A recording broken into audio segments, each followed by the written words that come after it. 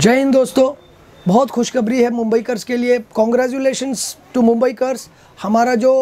Positivity rate है वो 4.40 percent पर आ गया लेस देन 5 परसेंट और बेड ऑक्सीजन ऑक्यूपेंसी जो है वो 27.12 परसेंट आ गया है। बहुत बहुत congratulations to all Mumbaikars लेकिन यहाँ पर दिक्कत एक बात की है कि प्लेस ऑफ़ वर्शिप्स जो इबादत गाहें हैं, जैसे मस्जिद है, मंदिर है,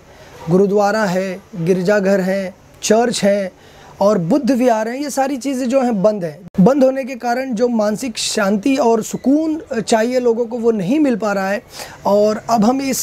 कंडीशन में आ चुके हैं कि ये जो मस्जिदें हैं या इस तरह के प्लेसेस ऑफ़ वर्शिप जो है इसको चा, चालू कर दिया जाए शुरू कर दिया जाए। सो so, मेरी रिक्वेस्ट है महागाड़ी विकास गवर्नमेंट से आ, चीफ मिनिस्टर उद्धव ठाकरे से कि ऐसे लोकेशंस आप फाइंड आउट करें। जैसे मुंबई की अगर मैं बात करूँ तो 24 एडमिनिस्ट्रेटिव वार्ड्स हैं। इस वार्ड में आप फाइंड आउट कीजिए कि जिस वार्ड में बहुत कम केसेस पाए गए हैं, या वो कंटेनमेंट जोन में नहीं आता, या रेड जोन में नहीं आता है तो वहाँ की तमाम प्लेस ऑफ़ वर्शिप्स मस्जिद, मंदिर, गुरुद्वारा चर्च और बुद्ध विहार ऐसे जो भी प्लेस ऑफ़ वर्शिप्स हैं सबको शुरू किया जाए ताकि लोग अपने आ, खुदा के साथ अपने आ, मानने वाले के साथ अपने ईश्वर के साथ कनेक्शन फिर से एक बार बना सकें और लोगों को मन की शांति मिले और लोग सुकून से अपनी लाइफ को फिर से एक बार रीस्टार्ट कर सकें।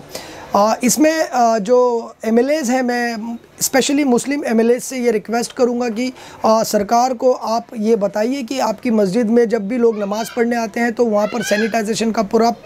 बंदोबस्त होता है और सैनिटाइजेशन का पूरा बंदोबस्त किया जाएगा और मस्जिद के अंदर जो लोग नमाज़ पढ़ने आते हैं, वो बहुत ही लोकल लोग होते हैं। या यानी कि अगर कंटेनमेंट जोन नहीं है तो मस्जिद के अंदर अगर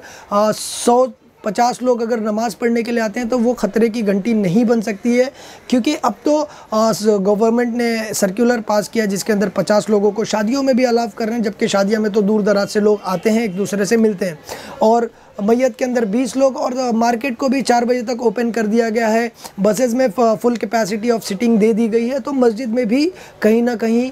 नमाजियों को अलाव कर देना चाहिए नमाज़ पढ़ने के लिए, और साथ ही साथ तमाम मंदिर मंदिर, गुरुद्वारे, चर्च और बुद्ध विहार को भी खोल देना चाहिए, ताकि लोग अपने अपने वर्शिप्स को परफॉर्म कर सकें और प्लेस ऑफ़ वर्शिप्स में जा सकें ताकि उनको दिमागी सुकून और दिली सुकून मिल सके। सो इस वीडियो को जितना हो सके आप शेयर कीजिए और ये वीडियो उद्धव ठाकरे तक पहुँचना चाहिए। और उद्धव ठाकरे जी प्लीज़ मैं आपसे रिक्वेस्ट करता हूँ कि आप इस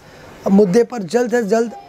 आकर मस्जिदों को ओपन करने का, मंदिरों को ओपन करने का एक आह्वान दें। जय हिंद, जय महाराज